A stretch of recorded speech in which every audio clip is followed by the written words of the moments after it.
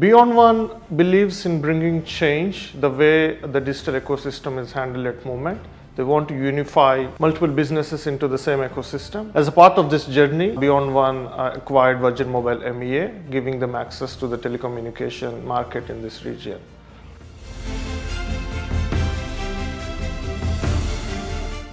The mission of Beyond One is to create a hyper customized digital experience to the customer, making use of the customer data and then sharing it back to the customer in a personalized way.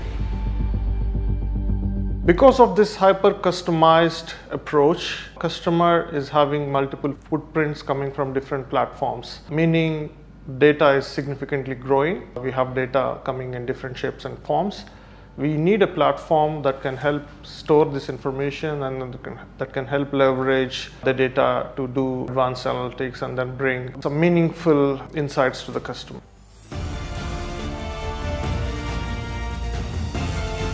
When we started this journey, we were looking for uh, collaborating with technology partners that help us implement these use cases and also eradicate some of the bottlenecks that we currently have, like storage capacity, computing power, etc. So at, in the early stages, our intention is to find a storage solution that can help save a lot of data. But you know, during the conversations with the VAST team, we understood it's not just the data storage, it's, it's beyond that. In a way, it helps us make use of the data in a much effective way.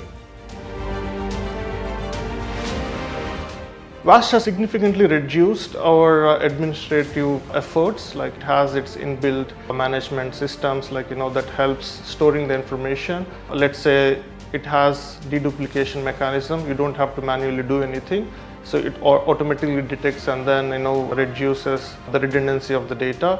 It also has a good uh, encryption mechanism and it also has a very solid database that helps us to store logs and it's still evolving